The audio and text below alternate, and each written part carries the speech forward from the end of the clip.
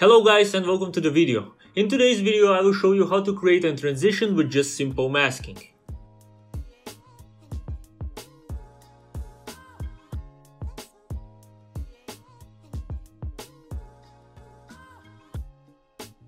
If you want to learn Premiere Pro and other stuff like that, consider subscribing to the channel for more videos like this one.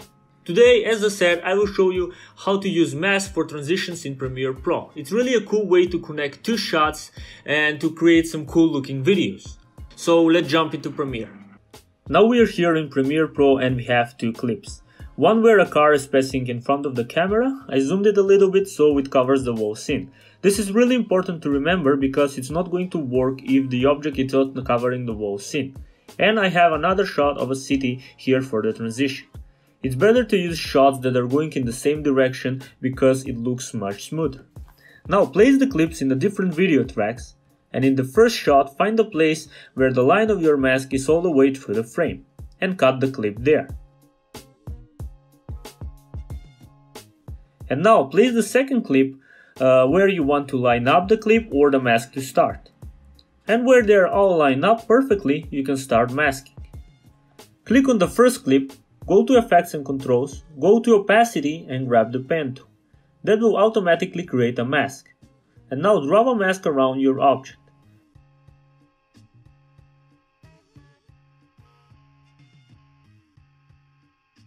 And now you can see that the second clip appears. To change this, just go under your mask option and click inverted. Now go again to your mask option and activate all the keyframes of the mask. Put a little bit of feather for more smoothness. Now go frame by frame and just correct the mask until your second shot is all the way out.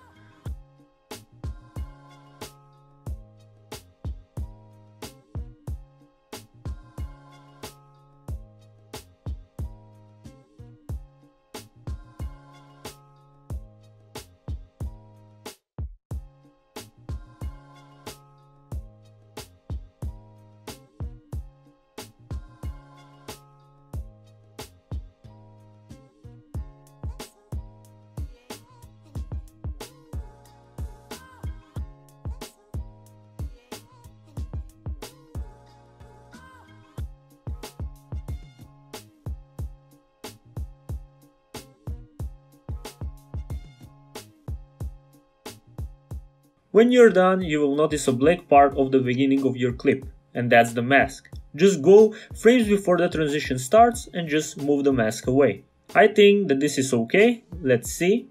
And it looks awesome. I will add some sound effects and a color grade to the clips, and this will be the final result.